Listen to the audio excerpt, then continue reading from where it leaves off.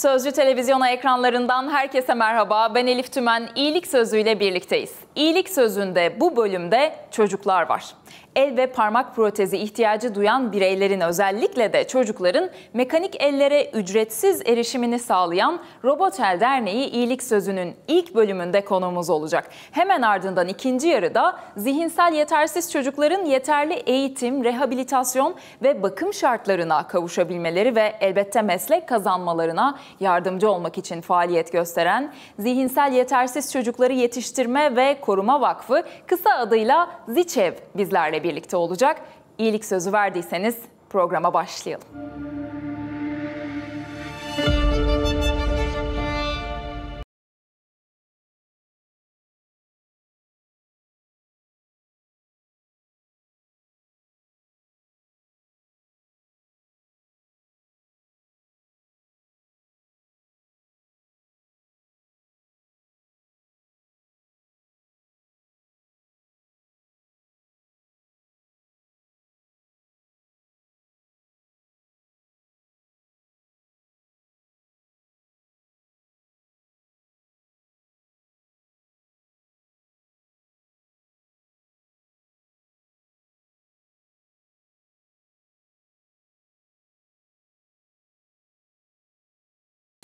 Bireylerin özellikle de çocukların hayallerini gerçekleştirdiklerini söyleyebiliriz. Onların e, yetersiz değil güçlü olduklarını hissetmelerini sağlıyorlar yaptıkları mekanik ellerle.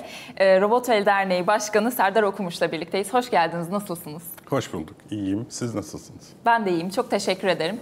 Aslında e, eksik değil, yetersiz belki doğru olmadı. Çünkü sizin sloganınız eksik değil, güçlü ya da Eksik farklı. değil, ayrıcalıklı. Yani hı hı. E, özel bir durumları var. Özel bir durumu e, istinaden bir şey yapıyoruz. Yaptığımız şeylerle onların ayrıcalıklı hissetmelerini sağlamaya çalışıyoruz. Bence çok da başarı, başarıyorsunuz görüntülere yansıdığı kadarıyla. Ee, bir kısaca dinleyebilir miyiz sizden? Tam olarak ne yapıyorsunuz? Ee, bu mekanik eller fikri nasıl ortaya çıktı? Bu ihtiyaç nereden doğdu? Ee, ne gibi çalışmalar yapıyorsunuz? Tamam. Yani bunun e, süresini istediğimiz kadar geniş anlatabilirim. istediğimiz kadar özet de anlatabilirim. Öyle düşünün. Ama Özet yapın özetle, ben aralarda sorular sorayım o zaman. şunu söylemek lazım. Robotar Derneği eli parmağı olmayan çocuklara protez yaşı gelene kadar yani daha doğrusu bir protezi verimli kullanma yaşı gelene kadar eğlenceli, mekanik çalışan, e, kendilerine özel üç boyutlu yazıcıyla üretilmiş ücretsiz mekanik eller tasarlar. Harika. Hemen burada e, sizin cevaplarınızdan böyle sorularla ilerleyelim.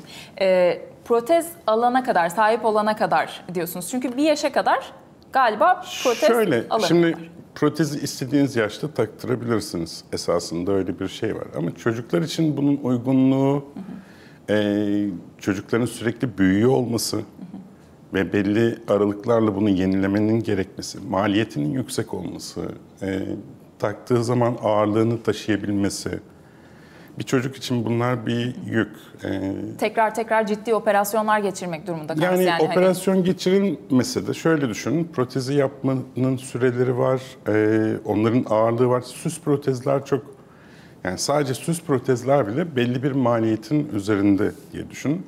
Bunu düzenli olarak değiştirmek zaten bir külfet. Yani o bir yük.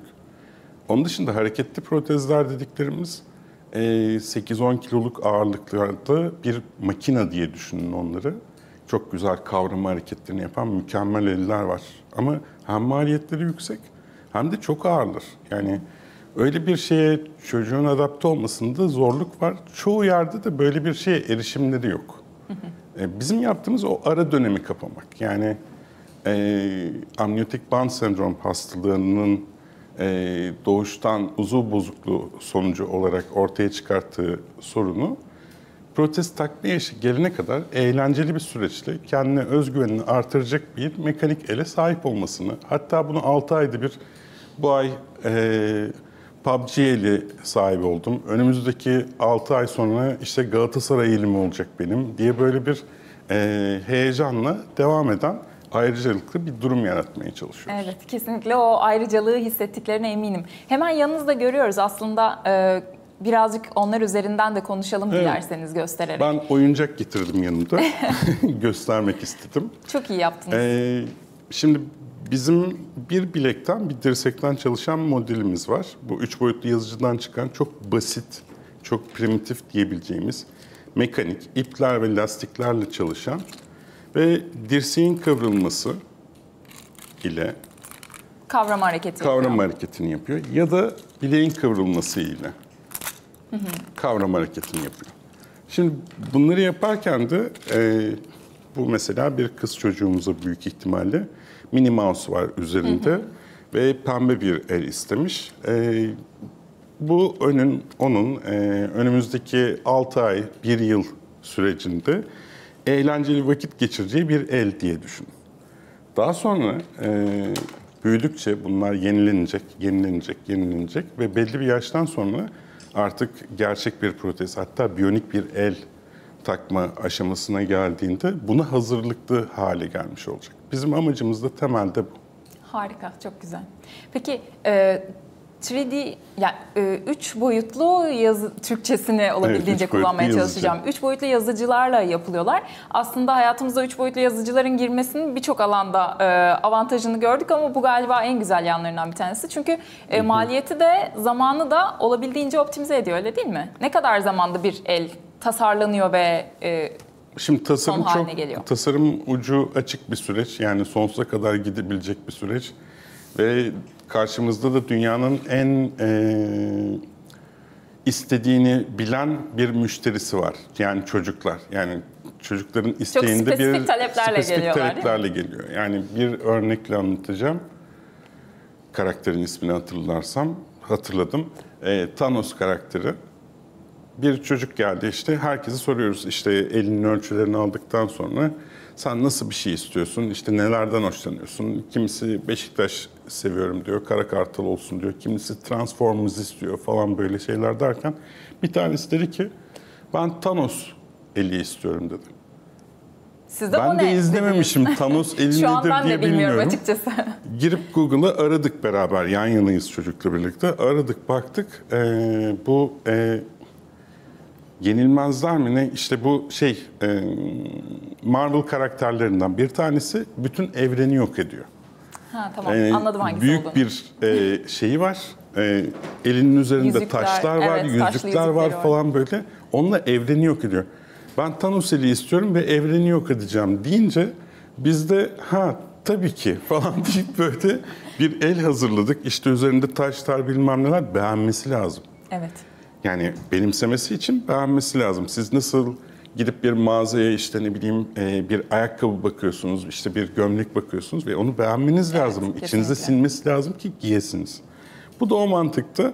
Ben böyle bir şey istiyorum dedikten sonra onu tasarımcının hazırlaması, o bir Thanos eli olacak. Yani şu anda şurada standart gördüğünüz işte ve bir PUBG. PUBG yazısı ve üzerinde sarı kırmızı şeyler. Bu basit. Bunu Evet, hazırlamak nispeten kolay. Ama şimdi kıyasla. Thanos elini yapmaya çalışan tasarımcıyla da eşleştirdiğimizde onu tasarımcı ben nasıl yapacağım bunu ya diye böyle kendine sorular sorup belki de hayatın en keyifli e, zorlamalarından biriyle uğraşmaya başlıyor. O yüzden tasarım süreci biraz değişik ama e, üretim sürecini net söyleyebilirim.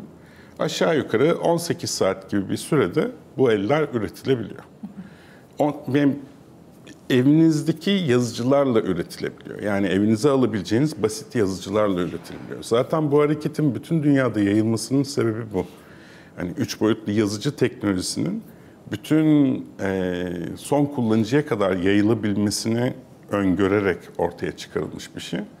Ve 2012'den beri e, üç boyutlu yazıcılarla uğraşan biri olarak söyleyebilirim bunun kadar etkileyici bir proje daha yapılmadı bütün dünyada. Yani üç boyutlu yazıcıyla köprüler yapıldı, evler inşa ediliyor, o yapılıyor, bu yapılıyor ama insan hayatına bu kadar Dokunan, nokta dokunan bir şey ben rastlamadım. O yüzden de bırakamıyorum diyebilirim.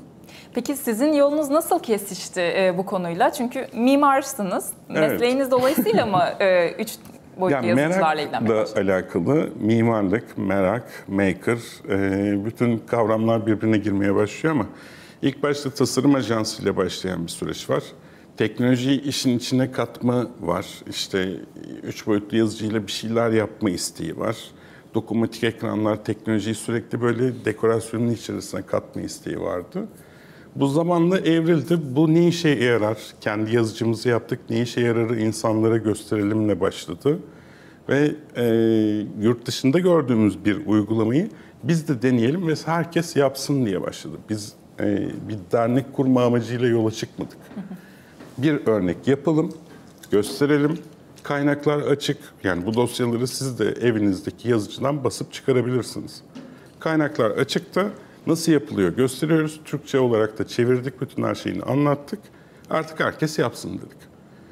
Biz öyle siteyi açıp herkes yapsın diye bırakınca insanlar yapmak yerine daha çok aramaya şey oldu. Bizim yeğene de yapabilir miyiz'e döndü. 2014'te başlangıç şeklimiz buydu. 2017'ye fark yaratan seçilene kadar esasında hiç dernek olmayı düşünmüyorduk. Fark yaratan seçilince sizin statünüzü soruyorlar. Yani nesiniz? Bir şirket mi? İsmini yazacağız dediklerinde ya Robotel işte. Yani sosyal medyada bir grup değil. Öyle olmuyor. Ona bir isim koymanız lazım dendi. E şirket olmayacağına göre ne olabilir bu? O zaman bir dernek kuralım dedik ve 2017'de derneği kurduk. Yani 2014'ten 2017'ye kadar dernek falan da yoktu. Kendi şey. E, çabalarınızla aslında evet, bir şekilde ulaşabildiğiniz kişilere yani. ulaşıyordunuz. E, hemen şunu açmak istiyorum. E, Sabancı Vakfı'nın Fark Yaratanlar e, yarışmasında aslında bir ödüle sahip oldular. E, evet. E, böylelikle aslında Serdar Bey bahsediyor ki dernek olma sürecimiz bu şekilde gelişti diye.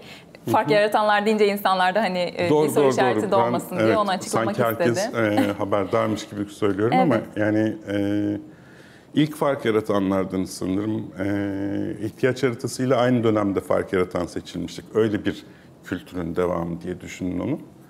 E, bizim için de çok güzel şeylere ön ayak oldu tabii ki. Yani e, kademeyle artık bir dernek olmanın getirdiği sorumlulukla belli şeyleri yapmak, e, belli yükümlülüklerle hareket etmek e, bu deprem öncesine kadar yani 2022 e, aralığına kadar diyeyim 400'den fazla çocuğa binden fazla el taktık.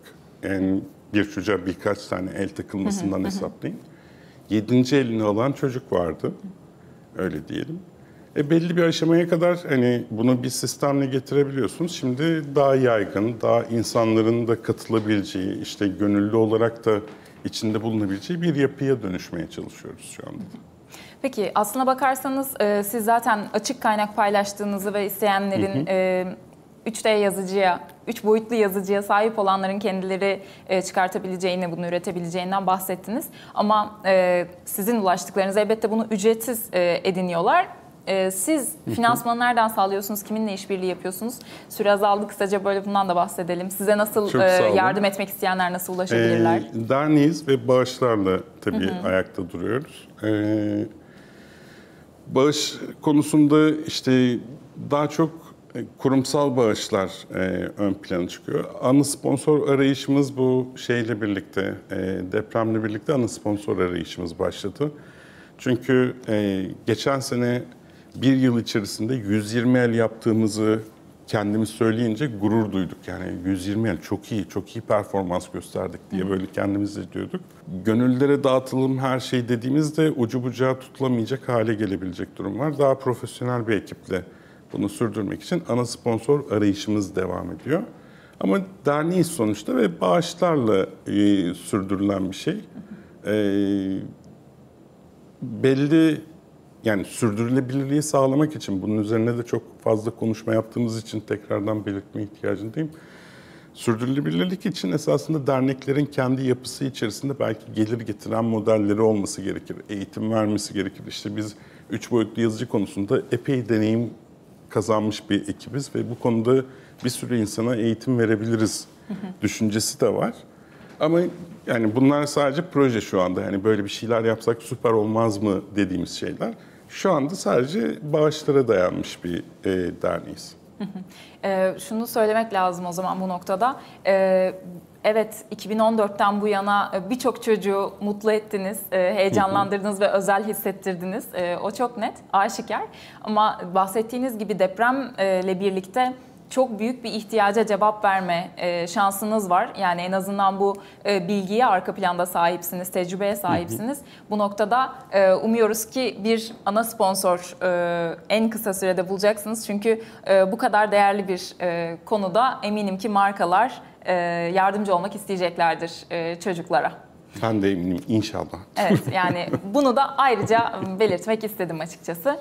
Ee, peki e, aslında çocuklara süre içerisinde sürekli e, tekrar tekrar e, el yapıyorsunuz. Ben Yağmur'un hikayesinden birazcık çok kısa bahsedelim istiyorum. Çünkü sanırım e, ilk çalışmaları yaptığınız çocuklardan bir tanesiydi ve artık e, bir genç kız oldu. E, bir yolu birlikte yürüdünüz gibi. Yani o 2014'te ilk başladığınız zamanlardan itibaren bize Yağmur'la kısıtlamayalım. Ee, bahsetmek isteyeceğiniz bir hikaye var mı? Ya bir sürü hikaye var Muhakkak. esasında kendi içerisinde. Ee, bu arada şeyi de söyleyeyim, belgeselimiz çekiliyor. Bunu herkese nasip olmaz böyle bir şey söylemek. Hayriye Savaşçıoğlu'nun çektiği bir belgeselimiz var. Ee, ya o hikayeleri derlemeye çalışıyoruz açıkçası. Yağmur da zaten bizim göz bebeğimiz yani ilk gününden itibaren artık genç kız oldu ve başka ihtiyaçlar, e, güncel hayatını şekillendiren ihtiyaçlar. İşte en son bisikleti, bisiklete binme aparatı, özellikle çok verimli kullanılabilecek bir bisiklet üzerine bir çalışma vardı. Şimdi çarş, yani bugün, yarın, bu hafta içerisinde e, Trabzon'da bir kızımıza, İkbal adında kızımıza e, konservatuvar öğrencisi saz çalma aparatı takılacak. Hani öyle bir şey yapacağız. Bunlar ee, dediğim gibi yani insanın kendi kendine bir üç boyutlu makineden kendi kendine çıkarabileceği şeyler olabilir. Bunda örnek olsun istiyoruz. Bu hikayeler yayıldıkça insanlar kendilerinin de bir şey üretebileceğini yani e, tüketim kültürü yerine üretim kültürünün yayılabileceğine inanıyoruz. Esasında böyle bir alt amacımız da var. Kesinlikle. Serdar Bey harika. Ee, keşke biraz daha vaktimiz olsaydı keşke. gerçekten konuşulacak. Ee, çok da fazla detay var gibi. Umuyoruz ki iyi haberlerinizi alırız. Ana sponsorunuzu bulduğunuz, eğitim verip e, daha fazla e, çocuğa destek verebileceğiniz, e, finansmanı sağlayabildiğiniz e, haberleri alırız. Çok teşekkürler, çok teşekkürler katıldığınız için. Sağ olun. Evet, iyilik sözüne ikinci yarıda zihinsel yetersiz çocukları yetiştirme ve koruma vakfıyla kısa adıyla ZİÇEV'le devam ediyor olacağız. İstanbul Şube Başkanı Şua Eriç bizlerle birlikte olacağız. Birazdan görüşmek üzere.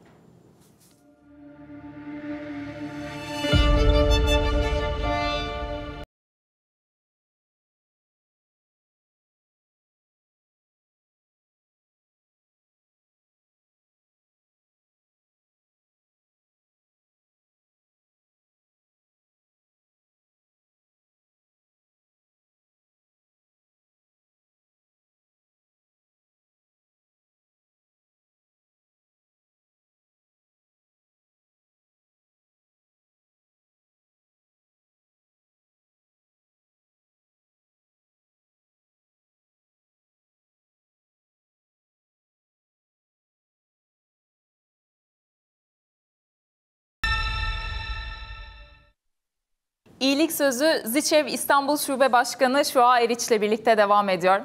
Merhaba, hoş geldiniz Şua Hanım. Nasılsınız? Teşekkür ederim. Siz nasılsınız? Biz deyiz. Çok teşekkürler. Ee, öncelikle bugün aslında sizi elbette Ziçev'in faaliyetleri e, İstanbul Şube Başkanı olarak da ağırlıyoruz ama elbette kişisel bir hikayeniz var. Ee, dolayısıyla özelden genele e, gidelim istiyorum sizin için de uygunsa. Dolayısıyla Şöyle sorup hemen e, size e, söz bırakayım aslında. E, oğlunuz Emre ile hikayeniz nasıl başladı? Oğlum otistik. Şimdi 46 yaşında. 46. İşte 79 senesinde, iki buçuk yaşında falanken çocuğun gelişiminde bir değişiklik olduğunu fark ettim birdenbire. Daha bir içine döndü. Çok güzel konuşan bir çocuktu. Konuşma e, gitgide kelimeler azaldı falan. Neyse neticede Çapa Çocuk Psikiyatrisi Kliniğinde e, otizm teşhisi koyduk. Ama bu sene 79'du ve de inanın yani birçok doktor bile otizmin ne olduğunu bilmiyordu. Ben de ilk defa duydum otizm kelimesinin ne olduğunu.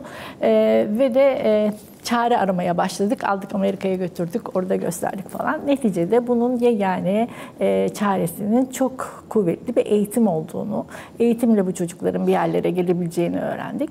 Ama o zaman eğitimde yoktu yani. Kısıtlıydı değil, yoktu gerçekten bu tür çocuklar için. İşte neticede aileler aynı aşağı yukarı aynı problem olan aileler bir araya geldik. Önce dernekleştik, bir yer kiraladık, orada öğretmen bulduk, çocukları bir araya getirdik, bir şeyler yapmaya çalıştık ve de neticede daha sonra derneğimizi kapattık, Ziçev bünyesine katıldık ve de e, uzun süredir 86 yılından beri Ziçev'le İstanbul Şubesi olarak birlikteliğimize devam ediyoruz. Ziçev ailesinin içindeyiz şimdi. Harika. Peki e, Ziçev'in aslında e, web sitesinde de bazı e, hikayeler, anılar, makaleler gördüm. Onları okumakta gerçekten e, hem fikir veriyor hem de e, aslına bakarsanız duyguları da çok e, yükselten e, evet. bir şekilde ifade edilmişler, e, yaşatan e, bir şekilde anlatılmışlar. E, orada da rastladığım e, konulardan bir tanesiydi. Yani e, 79 yılında e, biz bu otizm teşhisini aldık ve doktorlar bile bilmiyordu diyorsunuz. Evet. E, dolayısıyla o günden bugüne e, bir karşılaştırma yapacak olursanız toplum bilinci açısından, e, eğitim koşulları açısından nasıl bir farklılık var? E, geçmişi negatif e, anacağız muhakkak. Tabii. Ne gibi problemler yaşadınız o süreçte? Tabii.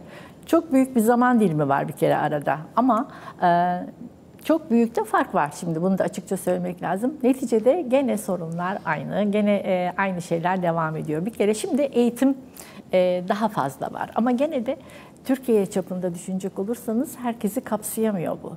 Ve de e, bu tür eğitimler maalesef çok e, finansal olarak destek isteyen eğitimler. E, devlet bir kısmını ödüyor ama devletin verdiği e, eğitim miktarı e, ayda 12 seans. 8'i bireysel, 4'ü grup terapisi olmak üzere ki bu takdir edersiniz Yetersiz çok çok çok kalıyor. az. Yani normal çocuklar için bile çok az ki bizim çocuklarımız daha zor öğrenen, öğrenme güçlüğü olan çocuklar. E, toplum bilici derken baştan hiç kimsenin olduğunu bilmiyordu. Şimdi gene ufak ufak bir şeyler bilinmeye başladı. Bizim en büyük e, amacımız bu çocukları toplumun içine dahil etmek. Yani dışta kalmasınlar. Eskiden maalesef bu çocuklar dışlanıyormuş. Aileler bile ailenin içinde bu çocukları e, görmek istiyorlarmış. Bu çocukların da hakkı var. Yaşamaya hakkı var, eğitime hakkı var, eğlenmeye hakkı var. Biz bu çocuklara bunları vermek istiyoruz. En başta eğitim vermek istiyoruz. Mümkün olduğu kadar, alabildikleri kadar eğitim alsınlar istiyoruz böyle güvenli ellerde kaliteli bir eğitim alsınlar istiyoruz. Ayrıca ailelere de temas ediyoruz. Onlara da dokunuyoruz. Çünkü Ziçi e, ailelerinle de birlikte oluyor zaman zaman. E, engelli çocuk ailelerinin hayatı çok daha fazla zor. Yani herkesin böyle işte bir e, alışverişe gitmek, doktora gitmek, bir düğüne gitmek gibi böyle gayet doğal şeyler bizler için büyük problem olabiliyor. Çocuğumuzu kimseye bırakamıyoruz. E, seneler geçince benim yaş grubumdan bahsediyorum. Bize destek olan anneler babalar gidiyor, biz kalıyoruz. E, tek başımıza kalıyoruz. Bizden sonrasını düşünmek zorunda kalıyoruz. Bizden sonra bu çocuklara ne olacak diyoruz. İşte bütün bunlar için Ziçev hem şimdiyi hem de daha sonrayı düşünerek çalışmalarına devam ediyor.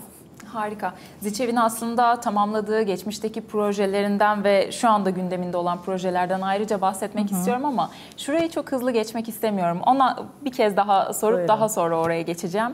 Ee, siz aslında birkaç kişi bir araya geldik e, ve bir şeyler yapmaya çalıştık dediniz. O süreçte sizin e, mesleğinizi öğrenebilir miyim? Kimya mühendisi. Kimya mühendisisiniz ve aslında bambaşka bir konuda uzmanlık e, edinmeye başlıyorsunuz. Şimdi geçen 46 yılın ardından eminim ki e, profesör profesör seviyesinde e, bilgi ve deneyime sahipsiniz. O kadar iddialı olmayayım ama biraz bir şeyler biliyorum diyelim. Muhakkak öğrenmişsinizdir çok şey. Çünkü e, hayatta bir şeyi e, okumaktan ziyade deneyimlemektir Tabii. öğreten. Siz de 46 yıldır bir deneyimin içindesiniz ve evet. sadece kendiniz e, üzerinden değil de aslında e, bir birlik içerisinde bunu yaptığınız için de e, başka deneyimlere de tanık olarak e, geçirdiniz bu yılları. Evet. E, bize nasıl anlatırsınız? Ailelere neler tavsiye edersiniz bu noktada bizi izleyen? Ona da bir değinmek istiyorum. Şimdi baştan pardon baştan bir şaşırma devresi oluyor. İlk baştan tanıya Şaşırma, aldığınızda. inkar değil mi? Evet, ne, yap- ne yapacağınızı bilemiyorsunuz. Hele bizim 79 senesinden bahsediyorum. Danışabileceğimiz gerçekten hiç kimse yoktu. Onun için biz dışarıda falan bir çare aramaya kalkıştık. Şimdi öyle değil. Şimdi gene işte rehberlik araştırma merkezleri var. İşte bir takım dernekler, vakıflar var. İnsanlar buralara en azından internet var. Bunlardan bilgi edinebiliyorlar. Bizim zamanımızda bunlar yoktu işte. Biz onun için çok çaresizdik. Ama işte doktor kapılarında birbirimizi bulduk aileler olarak. Öyle öyle, öyle tanıştık ve öyle bir araya geldik. Ee, şimdi ailelere söyleyeceğim bir kere kendi hayatlarını da bir kenara koymasınlar.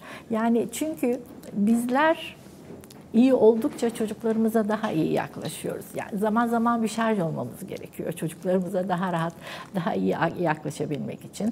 Ve de karamsarlığa kapılmamak lazım ama çok büyük de ümitlere de kapılmamak lazım. Çünkü oradan geri dönmek de daha sarsıcı oluyor. Yani her çocuk da ayrı birbirinden. Şimdi ben şeylerden görüyorum mesela işte e, gruplar var internetlerde. Aileler birbirlerine işte ben bu çocuğuma bu ilacı verdim siz ne dersiniz? Birisi diyor ki sakın verme, birisi diyor. Yani bu çok çok yanlış bir şey bence. Her çocuk birbirinden farklı. Uzmanlara, doktorlara danışmadan katiyen böyle bir yaklaşımlara girmemeleri lazım. Ben bunun üstünde şahsen çok duruyorum ve ailelerin de bunun üstünde durmalarını istiyorum. Her çocuğun bünyesi farklı. Nasıl herkesin nezlesi birbirinden farklıysa bu çocukların da engelleri farklı. Hepsinin de birine iyi gelen, diğerine gelmeyebilir. Bunları deneyerek, yaşayarak öğreniyoruz tabii. Ee, karamsar olmamak lazım ama çok da hayallere kapılıp sonra birden aşağıda Hüsrana çakılmak. uğramamak adına. Evet. evet. Biz e, işte benim eşimin işi e, dolayısıyla bir süre dışarıda kalmak zorunda kaldık. Oradaki Dışarıda yerleri derken yurt dışında yurt mı? dışında evet. Oradaki yerleri de e, bir tetkik etmek durumunda kaldım. Hatta benim oğlum orada bir sene okula gitti falan. Yani orada da gördüğüm gibi bu çocuklara bir esneklik vermek lazım. Birisi şey oturup masa başında uzun uzun bir şeyler yapabilirken öbürü daha çok gezmeyi, e, okul içinde dolaşmayı seviyor. Mesela bunlara çok böyle bağlarsak çocuklarda e, öfke nöbetleri olabiliyor. Bunlarla başa çıkmak da kolay bir şey değil. Bu hem aileyi yıpratıyor hem çocuğu yıpratıyor. Şimdi benim geldiğim durumda mesela ben artık çocuğum için Tamam, öğretimin hayat boyu sürdüğüne inanan bir insanım ama şimdi ben artık ben daha sonrasını e, görmek istiyorum. Benden sonra çocuğum nerede kalacak, nerede yapacak, kimlerin elinde olacak bunları görmek istiyorum ve bunun için de çalışmalarımız var. Sizin dediğiniz gibi soru anlatacağım onu. Tamam. Ee, sizi dinlerken aslında yine aklım, aklıma web sitesinde e, okuduğum e, şöyle dokunan bir cümle geldi aklıma. Ee, biz öyle anneleriz ki gökyüzünün yeşil olduğuna inanabiliriz. Kar tanelerinin mavi mavi yağdığına inanabiliriz diye. Ee, aslına bakarsanız e, çocuklar kadar e, anneler de bu noktada önemli öyle değil mi? Evet, evet yıpranıyorlar. Anneler yıpranıyor, babalar yıpranıyor. Şimdi bunu da söylemeden geçmeyeceğim. Genelde babalar biraz Anneler çabuk, daha çok yıpranıyor, çabuk yok oluyorlar. Daha çok annelere kalıyorlar. Yani yüzde seksen e, evliliklerde değişiklikler olabiliyor. Ama anne bırakıp kolay kolay gidemiyor. Mutlaka öyle anneler de vardır ama e, ailenin şeyini de sarsıyor. Kolay bir şey değil tabii engelli bir çocukla birlikte olmak. Benim başka çocuğum yok. Yani buna cesaret bile e, edemedim. Çünkü e, yeteri kadar uğraşamayacağımı düşündüm. Evet. Ayrıca öbür çocuğa da bir yük bırakmak bana doğru gelmedi. Bilmiyorum. Herkesin düşüncesi tabii daha değişik olabilir. Pekala. Çok teşekkürler yani kişisel ederim. deneyimlerinizi de e, aslında bizimle Rica paylaştığınız için. Şimdi ben tamamlanan e, Zeçev projelerinden birkaç tanesini fikir vermesi açısından okumak istedim. E, istihdamda yeni bir boyut, engelliler için teknoloji temelli meslek eğitim laboratuvarı projesi, öğretmenden öğretmene, e, kaynaştırma sınıflarında çalışan öğretmenler için müfredat geliştirme projesi, zihinsel engelli bireylerle çalışan öğretmenler ve diğer profesyoneller için müfredat tasarımı, e, işkur mesleki eğitim projeleri e, şeklinde devam ediyor. Annelerle el ele projesi E, ve şu anda aslında aktif olarak devam eden ama daha önce de tamamlanmışlar arasında e, kadınlarla ilgili bir e, madde görmüştüm, proje görmüştüm. Zihinsel engellilerin bakımını üstlenen kadınların yaşadıkları hak ihlallerini izleme projesi. Bu şu anda da sizin güncel e, başlıklarınız arasında olduğu için biraz bahsedelim istiyorum. Burada e, neyin peşindesiniz, e, ne gibi sonuçlarla ve problemlerle karşılaşıyorsunuz, ne gibi çözüm önerileriniz var? Şimdi ben şöyle gireyim sizin e, konunuza isterseniz. Ziçev olarak biz e, genel merkezimiz Ankara'da hı hı. ve 14 tane şubemiz var. Biz İstanbul şubesiyiz ve biz İstanbul şubesi olarak sorunlarımızı, problemlerimizi, projelerimizi devam ettirmek peşindeyiz. Genel merkezin böyle herkesi kapsayan tabii 14 şubeyi ve de bütün Türkiye'yi kapsayan böyle projeleri var. Biz onlarla daha çok genel merkez kendi içinde e, profesyonel kişilerle birlikte yürütüyor, yürütmeye devam ediyor. Biz İstanbul şubesi olarak burada yaptığımız bir soluk alma projemiz var mesela. Yani bu soluk alma projesi dediğimiz okulumuzun bahçesi içinde bir ikinci binamız var. Aileler gerektiği zamanlarda e, belirli süreler içinde çocuklarını buraya güvenli ellere bırakıp çocukları burada vakit geçirebiliyor. Yani bir gün, iki gün, üç gün. Mesela anne ameliyat olacak. Çocuğunu kimseye bırakamıyor. Getiriyor bize bırakıyor ve bizde kalıyor. Ve bu aileleri çok rahatlattı. Muhakkak. Yani buna devam etmek istiyoruz. Bunun için de e, e, vakıf olarak büyük bir destekte bulunuyoruz maddi olarak tabii. Ayrıca bir de bizim bizden sonraki projemiz bizi çok büyük ilgilendiriyor açıkçası. Her ailenin e, en büyük kabusu benden sonra çocuğuma ne olacak? Evet benim en çok not alırken yanlışlıkla tekrar tekrar yazdığım bir şey olmuş. Evet, benden bizim, sonra çocuğum ne olacak? Evet bizim de tekrar tekrar kafamızda dönen e, soru bu yani aslında. E, bizim merkez olarak Gölbaşı'ndaki arazimizde e, genel merkez büyük bir e, bakım e, merkezi yaptırıyor. İnşaatı başladı ama daha bitmedi. E, ben şahsen şahsen e, heyecanla bekliyorum buranın bitmesini. Çünkü e, Ziçev'i biliyorum. Başından sonuna kadar güvenebileceğim bir yer. Çocuğumun benden sonra orada olması beni e, şey, huzur bulacağım. Yani onu bilmek bile beni rahatlatacak. E, öyle yerlerin çoğalması lazım Türkiye'de. Yani bir tane bir yerde olması yeterli mutlaka olmayacaktır. Ve bu çocukların da e, sadece bir yere gidip de orada yesin, içsin, yatsın şeklinde değil. Bunların yaşamalarını Hayata sağlamak lazım. Değil mi? Bir takım gezilere gitmeliler, bir şeyler yapmalılar. Müzikti, işte resimdi, yapabildikleri kadar bir şeylerin içinde olmaları lazım ki hayat onlar için de kolaylaşsın. Ve aslında e, bu e, bu tarz sanat ve e, sporla ilgili e, evet. e, faaliyetlerin içinde olmaları aslında durumlarını da belki daha e, çözüme e, kolay ulaşılabilecek bir hale getiriyor olabilir. Bunu Gayet bir tahmin olarak söylüyorum sizden dinleyelim. E, çünkü biz bir de ayrıca ZİÇİV olarak tam gün eğitim yapıyoruz. Yani bizden başka bunu yapan yok. Yani bireysel eğitimin dışında. biz çocuklarımızı mezun edemiyoruz gayet tabii ki. Bize gelen Hı-hı. çocuklar e, devamlı kalabildikleri sürece bizimle beraber oluyoruz oluyorlar. Eğitim, bireysel eğitimin yanında tam gün kalan, biz de çocuk diyoruz bunlara ağzımız alıştı ama hepsi yetişkin bireyler 50 yaşında da var, 45 yaşında da var. Bunlar grupta birlikte oluyorlar. Bir takım el becerileri yapıyorlar. İşte drama ile ilgilendiriyoruz. E, ufak tefek ürünler yapıyorlar. Mesela anneler gününde hepimize bir minik anahtarlıklar yapmışlar. Bizi çok mutlu etti. Ya yani böyle şeyler, müzik çok önemli bunların hayatında. Müzik atölyelerimiz var. E, biz de bunlara destek olsun olsun diye e, aileler, kermesler işte bir takım bir şeyler düzenleyerek bunları yaşatmaya çalışıyoruz. Çünkü takdir edersiniz ki bütün bunlar bayağı maddiyete dayanıyor. Bunları Muhakkak. becerebilmek için de böyle bir takım faaliyetlerle desteklemek zorundayız. Peki e, bitirmeden önce size nasıl destek olabilirler onu da bir duyalım. E, büyük bir maliyetten bahsediyorsunuz zaten. Evet, yani e, web sayfasında bizim e, IBAN numaralarımız var. Ayrıca ben insanların gelip görmeleri, bunları tanımalarını çok isterim çocuklarımızı. Çünkü hep böyle bir uzak duruluyor. Bu çocukları kabullenmek, bunlarla birlikte olmak lazım. Aslında çok sevecen çocuklar. E, ufak bir şey anlatayım. Bu beni çok Lütfen. etkiledi, gülüyorum. Ve bizim çocuklarımızdan bir tanesi işte e, okulda bana rastladı. Sen kimsin dedi. Öğretmeni de işte şu anım falan dedi. Dedim ki ben dedi e, senin ismin ne dedim. Söyledi ismini, Ali'ydi ismi. Benim de dedim oğlum var. İsmi dedim Emre. E, ama dedim benim oğlum büyük dedim. Tabii dedi öyledir dedi. Nereden biliyorsun dedim. Çünkü sen yaşlısın senin çocuğun da büyük olur dedi. Şimdi bu çocuğun buraya gelmesi ve bunu bütün bir saflığıyla söyleyebilmesi beni çok güldürdü. Yani o kadar güzel bir saf ve de hiçbir kötülük düşünmeyen e, bir kafa yapıları var ki ve bu çocuklar da bunlar çok kırılgan olabilirler diye biz anneler belki de farkında olmayarak daha fazla korumacı oluyoruz. Halbuki bu çocukları hayata katmamız lazım. En önemlisi bu. Yani e, anlamaya çalışsın, toplum kabul etsin bunları. Bunların da varlığını bilsin istiyorum. Ama yardım ki gayet güzel yardımlar da geliyor. Bunlara da müteşekkiriz her zaman. Yani ellerini üstümüzden çekmesinler. Bizim bir sloganımız, sloganımız var. Tut elimi geleceğim olsun diye. Bu gerçekten güzel bir şey.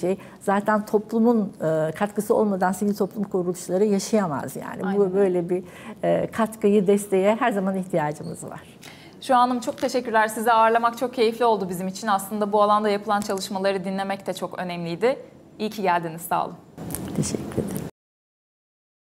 İyilik Sözü'nde bu hafta öncelikle Robot El Derneği'ni ağırladık. Aslında küçücük çocukların ne kadar ayrıcalıklı ve özel hissettiklerine tanık olduk. Bu bizi çok mutlu etti. İkinci bölümde ise Zihinsel Yetersiz Çocukları Yetiştirme ve Koruma Vakfı bizlerle birlikteydi. Şu Hanım'dan bu konudaki çalışmaları ve önemli dikkat edilmesi gereken noktaları dinlemiş olduk. İyilik Sözü'nü böylelikle noktalıyoruz. Haftaya yeniden görüşünceye dek hoşçakalın.